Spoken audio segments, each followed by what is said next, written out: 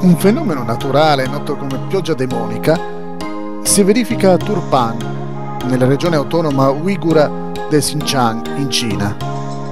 Anche se le nuvole di pioggia scure passano sopra la testa, il tempo potrebbe rimanere caldo e asciutto sul terreno, riferisce China Today.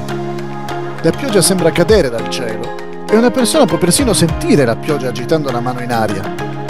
Tuttavia, nel clima estremamente arido di Turpan, l'evaporazione avviene a un ritmo più veloce rispetto alla pioggia.